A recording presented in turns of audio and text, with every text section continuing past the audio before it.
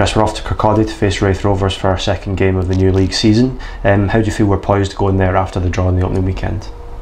Yeah, we're looking forward to it. Um, big games come around quickly in the championship. I think every week it will be like that. You know, I think every game will be considered a big game. Um, this is no different. Obviously, two good sides last year. Um, tough games every time we played them. So I don't think that will change. I think it'll be the exact same this weekend. Um, off the back of the draw, we know we can play better. I think we, we will play better. Um, but we got a clean sheet. We defended well. We take the positives out of it. I don't think after one game we, we want to be doom and gloom about it.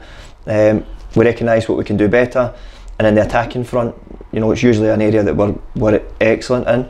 Um, so it's just about rediscovering that in terms of uh, relationships across the pitch.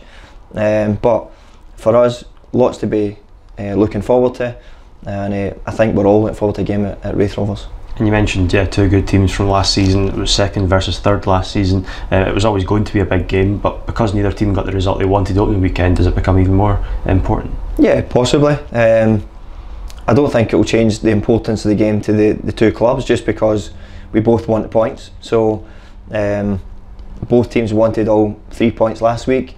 We got one and, and Raith didn't get anything. So both teams will be hurting a wee bit from that. So it makes for a good game. But I, th- I still think both teams would have come out to want to win this one anyway. Um, you know what's going on round about things at, at Raith Rovers maybe doesn't affect too much in terms of our approach. But um, I do understand how these things can affect games. Um, it's about keeping our mentality strong and looking after what happens here.